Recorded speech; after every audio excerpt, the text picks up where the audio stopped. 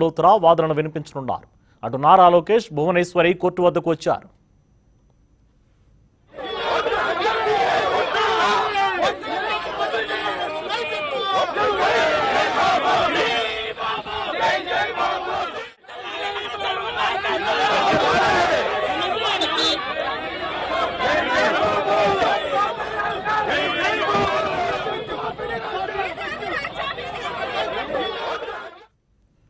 చంద్రబాబును సిట్ అధికారులు దాదాపు పది గంటల పాటు విచారించారు. విచారణలో భాగంగా ఈ కేసుతో తనకు ఎలాంటి సంబంధం లేదని సిట్తో చెప్పారు.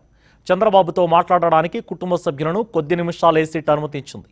ధర్మమే గెలుస్తుంది ధైర్యంగా ఉండండని కుటుంబ సభ్యులకు చంద్రబాబు భరోసా ఇచ్చారు.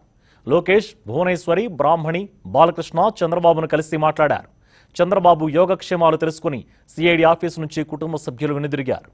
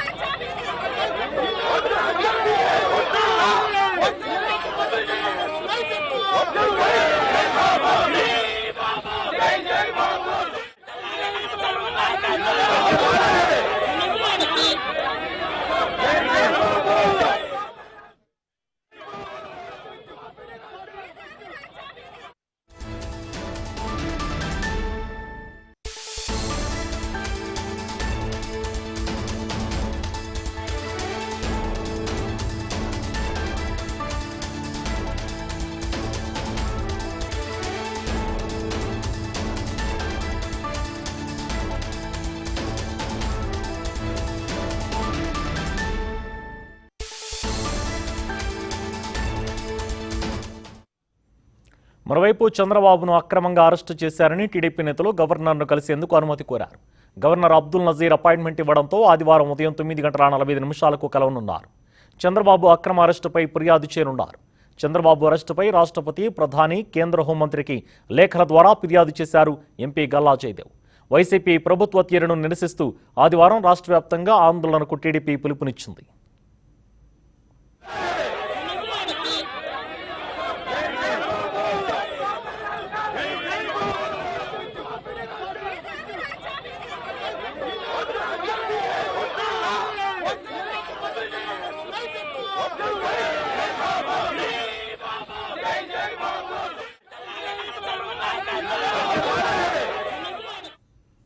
బ్రేకింగ్ న్యూస్ చూస్తున్నాం. విజయవాడ ప్రభుత్వ ఆసుపత్రిలో చంద్రబాబుకు వైద్య పరీక్షలు ముగిశాయి. దీనికి సంబంధించిన మరిన్ని అప్డేట్స్ మా అమరావతి బ్యూరో చీఫ్ రమేష్ అందిస్తారు. Ramesh. Thank you Subhan. TDP అధినేత చంద్రబాబు నాయుడుకి విజయవాడ ప్రభుత్వ ఆసుపత్రిలో వైద్య పరీక్షలు పూర్తి చేశారు.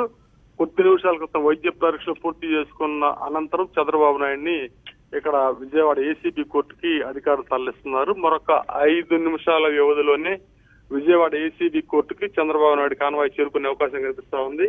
ఆ మరో పక్క వచ్చేసరికి చూసుకుంటే ఇప్పటికే ఈ చంద్రబాబు నాయుడు తరఫున వాదనలు వినిపించేందుకు ఆ సుప్రీంకోర్టు సీనియర్ న్యాయవాది సిద్ధార్థ లోధ్రా ఇప్పటికే న్యాయస్థానానికి చేరుకున్నారు ఏసీబీ కోర్టు ప్రాంగణంలో ఉన్నారు. అదే విధంగా నారా లోకేష్ కూడా ఏసీబీ ప్రాంగణానికి చేరుకున్న పరిస్థితి కనిపిస్తా ఉంది. సో చంద్రబాబు నాయుడు ఇక్కడ తీసుకొచ్చిన వెంటనే వైద్య నివేదికతో పాటు ఆ రిమాండ్ రిపోర్ట్ను కూడా ఆ, న్యాయమూర్తి ముందు పెడతారు. ఆ తర్వాత ఆ రిమాండ్ రిపోర్ట్ ఆధారంగా రిమాండ్ రిపోర్ట్లో సిఐడి అధికారులు ఏం పేర్కొన్నారు అనేది కీలకంగా మారింది సుదీర్ఘంగా చంద్రబాబు దాదాపుగా ఎనిమిది గంటల పాటు విచారణ సా- విచారణ చేశారు. విచారణలో ఎనిమిది గంటల పాటు సాగిన విచారణలో సిఐడి అధికారులు ఏం తేల్చారు? ఎటువంటి అభియోగాలు మోపబోతున్నారు అనేది ఆసక్తికరంగా మారింది. సో రిమాండ్ రిపోర్ట్ మీద ఈ ఇరు ఇరుపక్షాల యొక్క వాదనలు న్యాయమూర్తి ఉన్నారు ఆ ప్రభుత్వం తరఫు నుంచి additional advocate general Ponnavolu Sudhakar Reddy వాదనలు వినిపించే వినిపించనున్నారు. అదేవిధంగా చంద్రబాబు నాయుడు తరఫున సిద్ధార్థ సిద్ధార్థ లోద్ర ఆ, న్యాయవాదుల బృందం తమ వాదనలు వినిపించేందుకు సిద్ధమైన పరిస్థితి కనిపిస్తా ఉంది. సో ఇరుపక్షాల వాదనలు విన్న తర్వాత న్యాయమూర్తి ఈ అంశానికి సంబంధించి ఎటువంటి నిర్ణయం తీసుకుంటారనేది కొంత ఆసక్తికరంగా మారింది. టీడీపీ శ్రేణులు అయితే మాత్రం ఒక తప్పుడు కేసు నమోదు చేసిన నేపథ్యంలో అది పెద్ద ఇబ్బంది కలిగించే కేసు కాదు. న్యాయస్థానం న్యాయ సమీక్ష ముందు ఆ కేసు నిలబడదు అని చెప్పేసి వాళ్ళు ధీమా వ్యక్తం చేస్తున్నారు. అయితే ఇటువంటి పరిస్థితుల్లో కూడా రిమాండ్ అంటే మరింత సమాచారం అంటే ఈ స్కిల్ డెవలప్మెంట్ స్కామ్లో మరింత సమాచారం చంద్రబాబు నాయుడు నుంచి సేకరించాల్సింది కాబట్టి తమ కస్టడీకి ఇవ్వమని చెప్పేసి సిఐడి అధికారులు అడిగే అవకాశం ఉంది. జనరల్గా వచ్చే సిఐడి అధికారుల కస్టడీని అంత పరిగణలోకి తీసుకునే అవకాశాలు లేవు. ఆ- నేపథ్యంలో తర్వాత వెంటనే టీడీపీ తరపు న్యాయవాదులు వచ్చేసరికి బెయిల్ పిటిషన్ మూవ్ చేస్తారు. ఆ చే- మూవ్ చేసినప్పుడు వాదనలు ఉంటుంది. ఆ వాదనల సందర్భంగా ఇరు వర్గాలు కూడా సుదీర్ఘ వాదనలు వినిపించడానికి సిద్ధమయ్యారనే సమాచారం తెలుస్తున్న నేపథ్యంలో ఈ ప్రొసీడింగ్స్ చంద్రబాబు నాయుడిని ఏసీబీ కోర్టులో హాజరుపరిచిన తర్వాత జరిగే ప్రొసీడింగ్స్ ఏవైతే ఉంటాయో దాదాపుగా రెండు గంటల పాటు కొనసాగే అవకాశం ఉన్నట్టు తెలుస్తా ఉంది. సో ప్రస్తుతానికైతే మాత్రం చంద్రబాబు నాయుడు రాక కోసం అంటే చంద్రబాబు నాయుడుకి ఒక ఐదు నిమిషాల లోపల ఇక్కడికి వస్తారు. చంద్రబాబు నాయుడు వస్తున్నారన్న సమాచారం తెలుసుకున్న మహిళలు కూడా ఈ కోర్టు ప్రాంగణం వద్ద మహిళలు కూడా పెద్ద సంఖ్యలో వచ్చి ఉన్నారు. అయితే వాళ్ళని కోర్టు సమీపానికి రాకుండా బ్యారికేడ్లు పెట్టేసి దాదాపుగా ఒక రెండు వందల మీటర్ల అవతల నిలువరించిన పరిస్థితి కనిపిస్తా ఉంది.